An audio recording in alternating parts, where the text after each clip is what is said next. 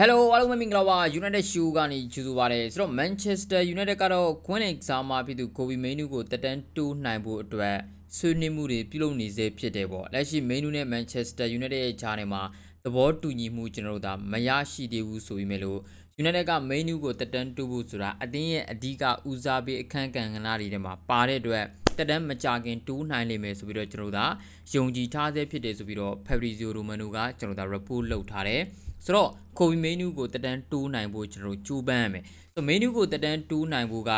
အဓိကအပြင်ကျွန်တော်တို့တကယ်တကယ်တမ်းကမခက်ခဲတင်ဘူးဗျာသိလားအသင်းမှာ Ineos ကျွန်တော်တို့ရောက်လာပြီဒီ Ineos ရဲ့လက်အောက်မှာ Manchester United ကတကယ်အခြေအနေကောင်းတဲ့ကျွန်တော်တို့ဒါဒီဘယ်လိုအသင်းတစ်ခုကိုကျွန်တော်တို့ဒါဖန်တီးဖို့ကြိုးပမ်းနေတဲ့ချိန်မှာเนาะအသင်းကိုကျွန်တော်အမှန်ကန်တိဆောက်ဖို့ကြိုးပမ်းနေတဲ့ချိန်မှာဒီအသက်20ဝန်းကျင်သာရှိသေးတဲ့ကိုဗီမေနူးကိုကျွန်တော်အမှန်ကန်ရေရှည်စာချုပ်ချုပ်ထားနိုင်မှာရမှာ ဒီလိုလူငယ်ကစားမတွေကတခြားအသင်းတွေထံကျွန်တော်ရောက်သွားလို့မဖြစ်ဘူးအဲ့တော့ main ဒီအသင်းရဲ့ academy ကကျွန်တော်ထွက်လာသလိုအသင်းမှာလည်းဆက်ပြီးတော့ရှိကျင်တဲ့ player မျိုးဒါပေမဲ့အခုချိန်ဒီတက်တမ်းမတိုးနိုင်သေးဘူးဆိုတာကတော်တော်လေးတော့ကျွန်တော်ဒါစိတ်ပူကိုကောင်းတယ်ဆိုတော့တခြားအသင်းထံပါညာတော့ဒီလက်လွတ်ချင်မှာတော့လက်လွတ်ရမှာပါဒါပေမဲ့လို့ကျွန်တော်ပြောချင်တာကအသင်းမှာဟိုဘယ်လိုပြောမလဲ performance တွေလည်းကျွန်တော်ဒါကောင်းမနေသေးဘူးအသင်းရဲ့အနာဂတ်ကလည်းဘယ်လိုပဲဝမ်းမှန်းကျွန်တော်မသိသေးတဲ့အချိန်မှာသူ့ရဲ့ကျွန်တော်ကိုယ်စားလှယ်တွေတာဝန်ရှိသူတွေရဲ့ဘက်ကတခြားကလပ်တင်တစ်ခုကိုရွေးချယ်သွားမှာကိုကျွန်တော်တို့ကစိတ်ပူနေရမှာအဲကြောင့်ကိုဗီမေနူးနဲ့ပတ်သက်လို့ဟိုအနာဂတ်မှာပေါ့နော်မန်ချက်စတာယူနိုက်တက်ကသူနဲ့ပတ်သက်ပြီးတော့ဘယ်လောက်ထိရည်ရွယ်ထားတယ်လဲဘာတွေပြင်ဆင်ထားတယ်လဲ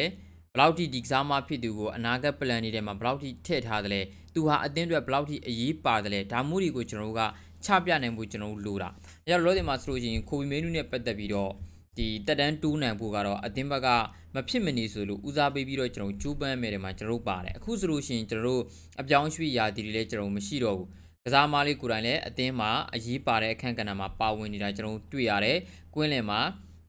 မိနူဒီအဓိကကစားတဲ့မှာကစားမတွေကတယောက်ဆိုတာကိုလည်းကျွန်တော်ကောင်းကောင်းတွေ့ရတယ်ဆိုတော့ခိုဘီမိနူကိုတက်တန်းတူးနိုင်ဖို့ဒီအရေးကြီးတယ် အရေးကြီးတယ်ဆိုတော့ Ineos ကဒီလူငယ် Academy မှာ Academy ဒီမှာဆိုလို့ရှိရင်လည်းတကယ်ကောင်းတဲ့ကစားမတွေအလားလာရှိတဲ့သူလေးတွေကိုကျွန်တော်ရအောင်ကျွန်တော်ခေါ်ထားတယ်လက်ရှိအသင်းမှာဆိုလို့ရှိရင်လည်းသူအသက်20 20 20ဝန်းကျင်သာရှိသေးတဲ့ဒီ Ziggy တို့ Rasmus Hojlund တို့ Garnacho တို့ Ahmad တို့လူငယ်ကစားမတွေနော်ဒီလိုကစားမတွေပြီးလို့ရှိရင် Lenny Yoro တို့လိုမျိုးနောက်ခံကစားမတွေကွင်းလင်မှာဆိုလို့ရှိရင်လည်းကျွန်တော်တို့ဒါ Toby Collier တို့လိုကစားမတွေကျွန်တော်ရှိမယ် Mainu တို့ကျွန်တော်ရှိမယ် ဆိုတော့ဒီလိုကစားမတွေရှိနေတဲ့အချိန်မှာအသင်းကအနာဂတ်အတွက်ပြင်ဆင်ထားတဲ့ United အသင်းမှာ menu ကအရေးပါနေတာဆိုတော့ဒီလိုကစားမကိုကျွန်တော်ရအောင်တက်တန်းတူးနိုင်ဖို့လိုတယ်ဆိုတော့ Ineos နေတော့တက်တန်းတော့တိုးမယ်ဗောဗျအခုလည်းပဲတက်တန်းတိုးဖို့ကြိုးပမ်းနေတာပဲလက်လွတ်ရမယ်လို့ထင်လားဆိုတော့လေ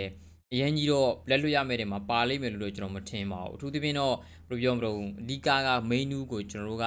အောင်မြင်တဲ့เนาะကျွန်တော်တို့ဒီ plan တွေအောင်မြင်နိုင်မဲ့ plan တွေကိုကျွန်တော်ချပြနိုင်ဖို့ကျွန်တော်တို့လိုတယ်ဒီကစားမလေးကဘလောက်ပဲခြေသွမ်းကောင်းပြီးတော့အတင်းရဲ့ academy ကနေထွက်ပေါ်လာပါမယ်ပြောပြောဒီနာဒီကစားမလေးအတွက်ပေါ့နော်ကျွန်တော်အောင်မြင်နိုင်တဲ့အနာဂတ်ကိုဖန်တီးပြနိုင်စွမ်းမရှိဘူးပလန်တွေကိုချပြနိုင်စွမ်းမရှိဘူးဆိုလို့ရှိရင်အသင်းပြောင်းကောင်းပြောင်းသွားမှာပဲတခြားအသင်းတွေမှာတောင်မှ academy ကပဲထွက်ထွက်ဘလောက်ပဲဘာပဲကျွန်တော်ဖြစ်ဖြစ် ပိုကောင်းတဲ့အသင်းတွေကိုကျွန်တော်ပြောင်းသွားကြတာဆိုတော့အသင်းက main နဲ့ပတ်သက်ရင်ဒါမျိုးအဖြစ်ခံလို့ကျွန်တော်မရဘူးအဲဆိုတော့ခိုးပြီး main ကိုရအောင်ကျွန်တော်တက်တန်းတူးနိုင်မှကျွန်တော်ရမယ်ဆိုတော့တက်တန်းတူးဖို့ကတော့မခက်ခဲတင်ဘူးပေါ့နော်တကယ်အနာဂတ်ကောင်းတဲ့ဒီ plan တွေချပြနိုင်မယ်ဆိုလို့ရှိရင်